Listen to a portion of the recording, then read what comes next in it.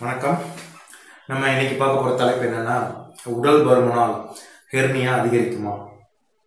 இது வந்து ஹெர்னியாங்கிறது எல்லாருக்குமே ரொம்ப காமனாக தெரியும் எஸ்பெஷலி ஆம்பளைங்க சொல்லுவாங்க என்ன குடல் இறக்கம் குடல் இறக்கம் இல்லை பொம்பளைங்க பார்த்தீங்கன்னா ஏதாவது ஒரு ஈஸ்டக்டமி இல்லை சிசேரியன் ஆப்ரேஷன் பண்ண பிறகு எனக்கு ஹெர்னியா வந்திருக்கு.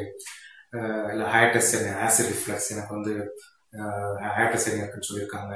இல்லை மதர் ரேர் டைப் ஆஃப் எல்லாம் சொல்லுவாங்க எல்லாமே இருக்குது பட் இதுக்கும் உடல் பருமனால் அதிகரிக்குமா? இதுக்கு என்ன சம்பந்தம்?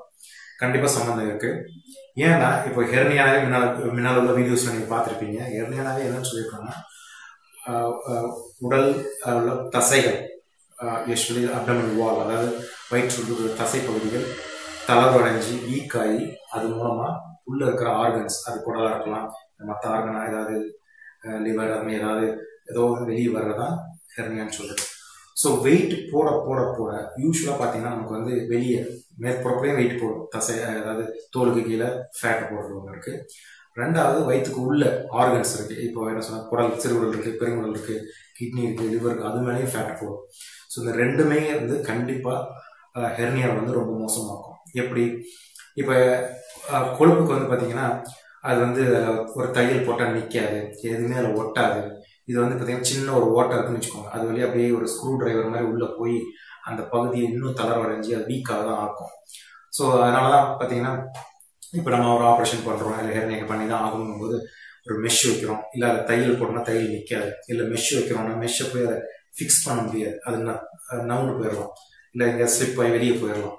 ஸோ அதனால தான் என்ன சொல்லுதுன்னா கண்டிப்பாக கொழுப்பு இருக்கிறது ஒரு கஷ்டம் ரெண்டாவது பார்த்தீங்கன்னா வெயிட் போட போட போட உடல் அசைவு குறைஞ்சிக்கிட்டே வரும்.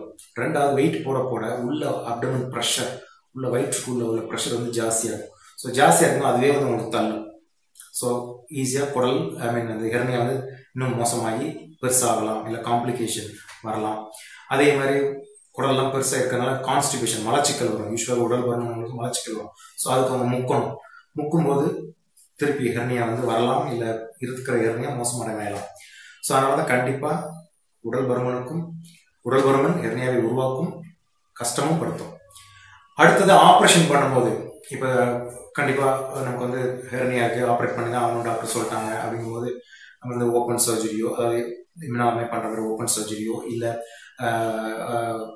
லேப்ரோஸ்கோப்பில் பண்ணுற மாதிரி சர்ஜரி பண்ணாலுமே அந்த மாதிரி ஆப்ரேட் பண்ணும்பொழுது ஓப்பன் பண்ணும்போது ஃபேட் உள்ள கொழுப்பாக இருந்ததுன்னா அதை பார்க்குறதோ இல்லை அந்த இடத்துக்கு உள்ளே போகிறதோ ஆப்ரேட் பண்ணுறதோ கொஞ்சம் கடினமாக தான் இருக்கும். ரத்த இழப்பு அதில் ஜாஸ்தியாக இருக்கும். அப்புறம் நம்ம மெஷ்ஷை போய் வைக்கும்போது அதில் நிற்கி அது வலிக்கிக்கிட்டே போகும். உடனே வலிக்காது. மேபி மூணு மாதம் கழிச்சு இல்லை ஆறு மாதம் கழிச்சு அது நகர்ந்து போகலாம். அதே மாதிரி லேப்ரோஸ்கோப்பில் உள்ள கூடி போய் உள்ளே போய் பார்க்கும்போதும் மெயினாக வந்து அதில் ரத்த இழப்புகள் ரொம்ப அதுமாதிரி அலர்ட் ஆகுது அதுவுமே மெஷ் வந்து நழுவி போகிறதுக்கு வாய்ப்புகள் ஜாஸ்தி. ஸோ அதனால தான் பார்த்தீங்கன்னா நிறைய டாக்டர்ஸ் என்ன சொல்லுவாங்கன்னா ஹெர்னியாக்கு முன்னாடி வெயிட்டை குறைங்க. அட்லீஸ்ட் ஒரு அஞ்சு கிலோ குறைங்க. அஞ்சு கிலோங்கும் போது அதெல்லாம் ஃபேட்லாம் சுருங்கிடும் சுருங்கிடும் போது ஆப்ரேஷன் பண்ணுறதும் ஈஸி ஆப்ரேஷன் ஃபெயிலியர் ஆகிறதுக்கு.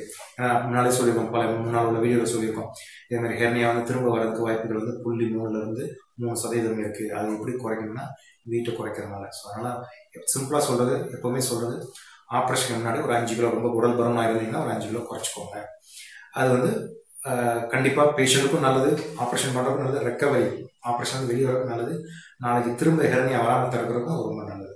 காம்ப்ளிகேஷன் வராமல் இருக்கிறதுக்கும் நல்லது. ஸோ அதனால் எப்போவுமே உடல் எடையை குறைச்சி கொஞ்சம் ஒரு ஃபிட்டாக வச்சு இருக்கிறது ஹெர்னியா உள்ளவங்களுக்கு எப்போவுமே ஒரு கண்டிப்பாக ஒரு முக்கியமான ஒன்று ஸோ வெயிட்டை குறைக்கிறதுனால மெயினாக வந்து பேஷண்ட்டுக்கு தான் ரொம்ப நல்லது.